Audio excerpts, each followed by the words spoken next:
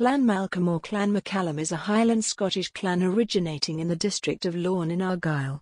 It is believed that the surnames Malcolm and MacCallum are derived from the Gaelic name of the monk who brought Christianity to Scotland.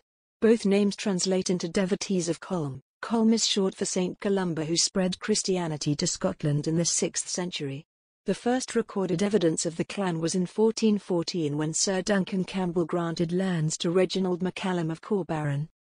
The motto of the clan is in Ardua Tendit which translates into He has attempted difficult things, and the crest features a castle tower.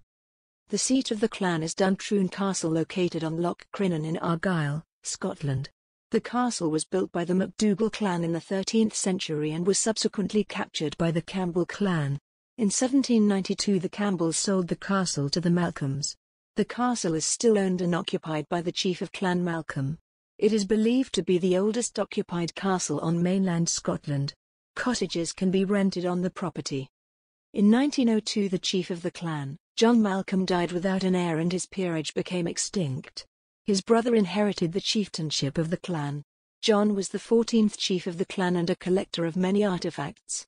The Malcolm collection can be currently found at the British Museum.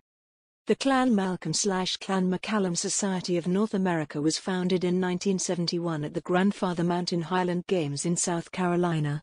The goal of the society is to promote the study of the clan's history, culture and heritage.